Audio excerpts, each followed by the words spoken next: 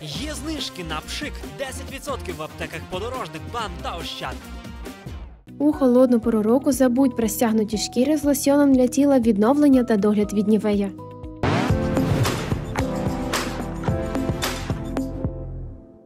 Тепер без паперових карток у ТЦК. Як працюватиме єдиний електронний реєстр призовників та військовозобов'язаних?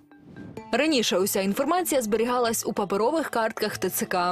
Ці дані можна було легко втратити, тож, щоб не губити документи та фізично не витрачати час на їх оновлення, винайшли оберіг. Тобто це інструмент військового обліку громадян. Він також покликаний зменшити кількість помилок внаслідок людського чинника і заощадити ресурси завдяки цифровізації. Яку ж інформацію будуть там зберігати? Це мають бути актуальні дані про військовозобов'язаних громадян від ініціалів до відомості про судимість чи кримінальну відповідальність.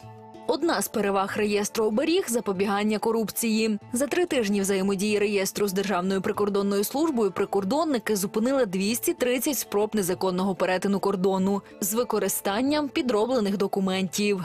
Оберіг модернізували за підтримки Європейського союзу. Реєстр отримав атестат відповідності. Це комплексна система захисту інформації. Кожна дія завіряється кваліфікованим електронним підписом. Доступ мають лише визначені законом структури. А надалі планують запустити такі послуги, як електронне бронювання військовозобов'язаних громадян та електронний військовий квиток. Це витяг з реєстру, що свідчитиме про обліковий статус громадянина, де він стоїть на обліку і чи придатний до служби.